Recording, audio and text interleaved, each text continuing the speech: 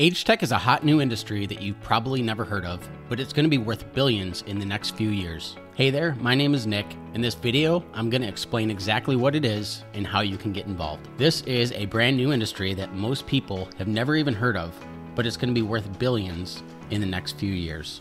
So, what is it?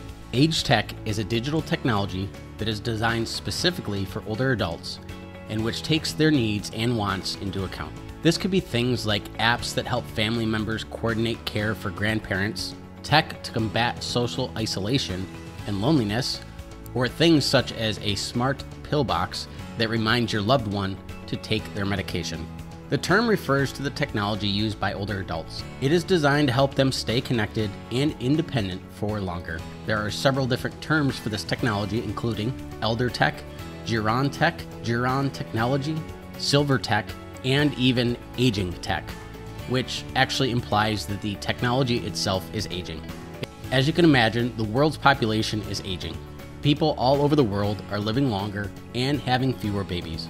It's estimated that by 2050, the number of people over 60 is expected to reach 2.1 billion, nearly a quarter of the world's population.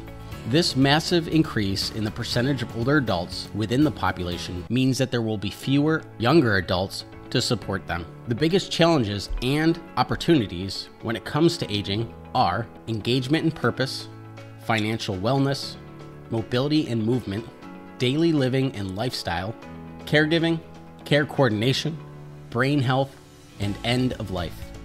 Just recently, there was a book that came out that I had the pleasure of reading called The Age Tech Revolution, the book about the intersection of technology and aging by Keren Etkin. I highly suggest that if you're interested, you pick up a copy on Amazon. I'll put a link in the description below. It covers all these topics in much more depth.